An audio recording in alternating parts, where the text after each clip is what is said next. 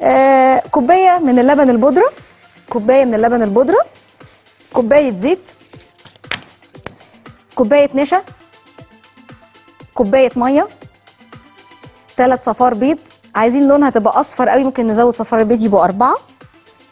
ثلاث مثلثات من الجبنة ال- أي نوع إحنا بنحبه بنفضله الجبنه المثلثات اللي بنشتريها للولاد دي. ثلاث معالق كبار من القشطة ثلاث معالق كبار من القشطة. فلفل أسود حب وعندي زيتون.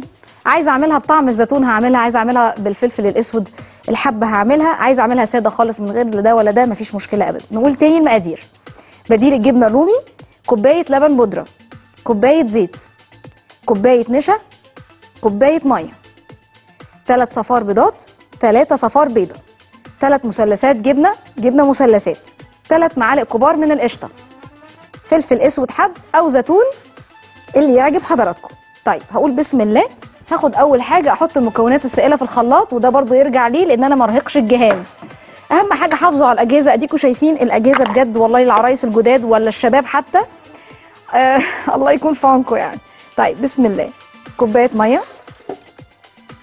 فنحافظ على أجهزتنا.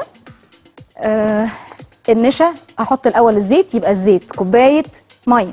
بسم الله. كوباية زيت.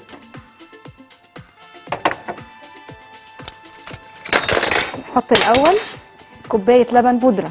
بسم الله الرحمن الرحيم. كوباية النشا. هي على فكرة أرحم بكتير. لو عرفتوا مقادير الجبنة الرومي بيتحط فيها إيه الحقيقية مش هتشتروها. على الرغم إن أنا بحبها جدا بس الحقيقة بقننها جدا. ثلاث مثلثات جبنة. آه الفلفل الأسود صح. طب ما نا- ناخده لوحده. معلقتين قشطة. وهاخد ثلاث صفار البيض. أنا هحط كام حبة فلفل مع الخليط تدي طعم. وهحط شوية ملح. بسم الله الرحمن الرحيم. خليني آخد شوية كده عشان دي هتطول معايا شوية. حبة كده. وممكن برضه أتحكم في طعم الملح. مش لازم تبقى مالحة قوي يعني. خلاص. وهاخد بقى طبق صغنون. أفصل فيه صفار البيض عن البياض والبياض ما يترميش. هنعمل وصفات بالمارينج آه، حاجات حلوة قوي للولاد. إن شاء الله وتتلون وتبقى من الحاجات المفيدة وهو في الآخر بياض بيض. بسم الله. أدي صفارة. بسم الله. وآدي التانية. بسم الله. وادي التالتة طب هنعمل إيه في البياض؟ هناخده في كيس تلاجة واحطه في الفريزر. وقت ما أجي أستخدمه أو أعوزه أستخدمه في كيك في بسكوت في مارينج في أي حاجة يا دوب هطلع كيس أحطه على الرخامه هيفك ويسيح وكأن حضرتك لسه كسره البيض حالا. خلاص؟ طيب دي بقى. أنا كده خلاص هبدأ بقى إيه أخلط ال- الخليط ده مع بعض هنا. بسم الله الرحمن الرحيم.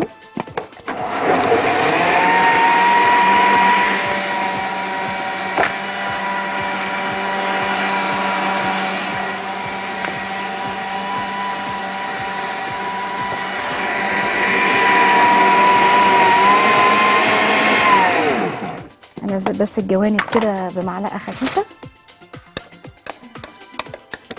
أضربه كويس جدا. خلاص أنا هسويها بصراحة على حمام مية على البوتاجاز. مش هسويها إيه أه بقى أعملها. في ناس ممكن تسويها كده تطبخها زي الجبنة المطبوخة. أنا مش هعملها كده.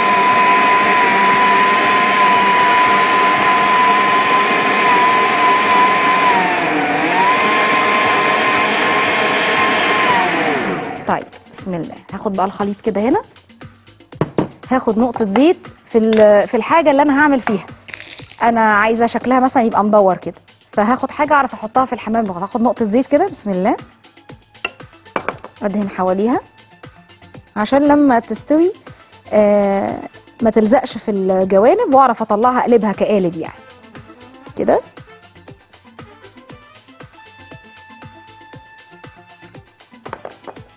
وبعدين أصب بقى الخليط. أنا دلوقتي سخنت حمام مية على النار. حطيت شوية فيه مية بسم الله الرحمن الرحيم. فيها بقى الفلفل اللي حضراتكم شايفينه. بص بقى في الخليط فيه فلفل. أهو. الفلفل الأسود الحب الحلو ده. مجروش شوية. أنا جرشته شوية. خلاص.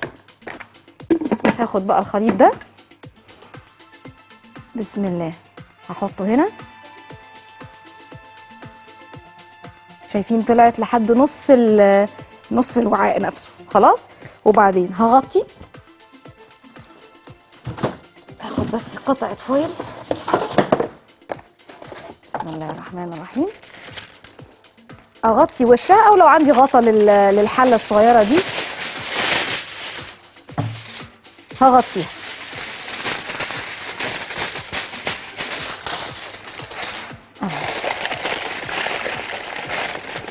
هتاخد قد إيه وقت على على الحمام المية بقى؟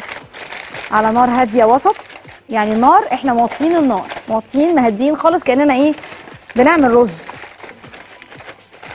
هتاخد مش أقل من ساعة من ساعة لساعة وربع. على حسب آه كل واحد درجة الحراره طيب المية بقى لازم أتابعها. المية أول ما تقل مع الوقت في السوى آه كل ما تقل كل ما أزود مية سخنة جاهزة. أسخن الكاتل كده وأضيف المية سخنة. لو حطيت المية بارده ده مش حلو. لازم أحط الميه سخنه مولعه فكانها بتكمل السوا بتاعها مفيش مشكلة لحد ما تخلص وقتها خالص. تمام؟ أول ما تخلص هسيبها هسيبها جوه الميه لحد ما تهدى خالص وهي متغطية. بعد ما تتماسك بقى هتبقى متماسكة وري حضراتكم شكلها. بسم الله. هنقلها دلوقتي في الطبق التاني. بصوا هتبقى كده. عايزة بس أقطع لكم. آه.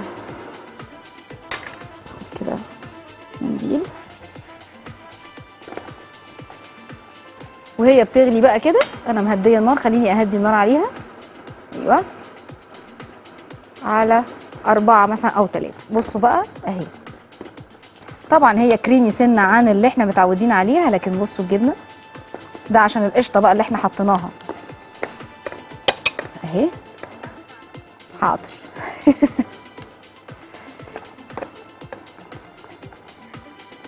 لا.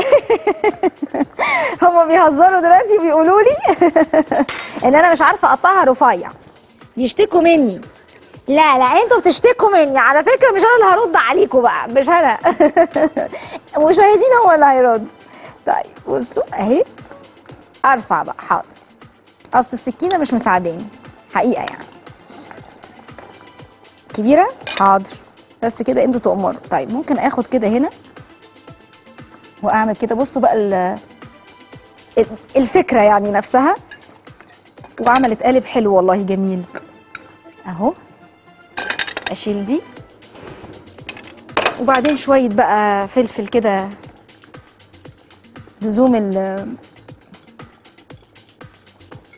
الديكور يعني. ديكوريشن. آه شوية زيتون. طبعا حضراتكم بقى تقدروا يعني إيه آه يعني تبدعوا بقى في أي حاجة حابين تخلوها بيها لكن أنا أنا حاولت أوصل آه، لأبسط ال- الحلول.